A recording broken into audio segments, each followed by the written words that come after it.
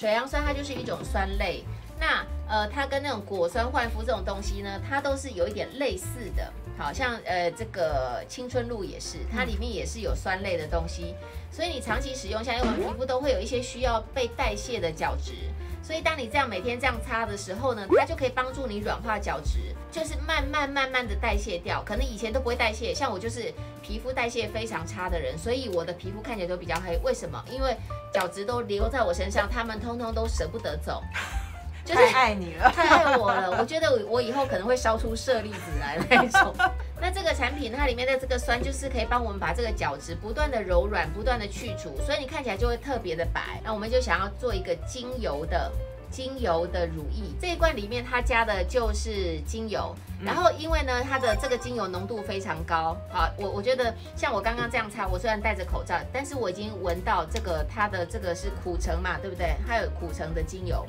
它的这个橙类的精油就非常的香，老板就是这么这么猛，东西都要加到足。我说，所以你闻到这个味道非常香，也是很自然的，因为它的精油量就是很高，嗯，但是不会有过量的问题。它加了玫瑰精油，但是其实说实话，你闻不太到玫瑰精油的味道，因为它的比例加的比较少。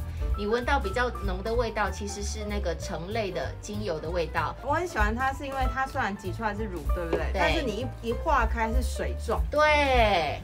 然后，因为我会觉得它有一个，就是会有一个凉感。对对对对对，夏天涂这个非常的舒服，就觉得哦，好像整天的烦躁都被精油给去除掉了。而且它这里面有加了一点点的薄荷精油，所以当我们这里面精油调了这个薄荷以后，它就会让你的这个味道散发的特别好，所以旁边的人就很容易会去闻到你身上的味道，因为它会不断不断的散发。它是有点透的，有点透的，看到吗？好，它跟一般如意那种厚重的不太一样。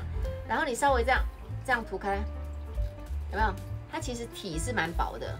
我刚刚这边已经涂了三层，你看得出来我的手其实是没有负担的哦。嗯。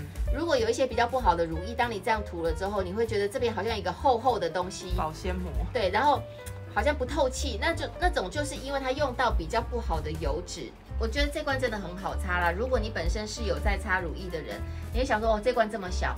它不小哎，它其实是两百五十 ml 哎，所以这一瓶我其实蛮建议有在用乳液的人，或者是你本身想要美白的人，这一罐是美白乳液，美白高浓度精油瞬吸乳液，嗯，品名应该这样取才对啊，不然客人可能不太晓得这个到底要干嘛的。这个真的效果很好，美白效果是非常好的，嗯，而且它很香，哎，我都不晓得这个味道这么好闻呢，我从刚涂到现在一一直涂一直涂，因为太香了，太好闻了。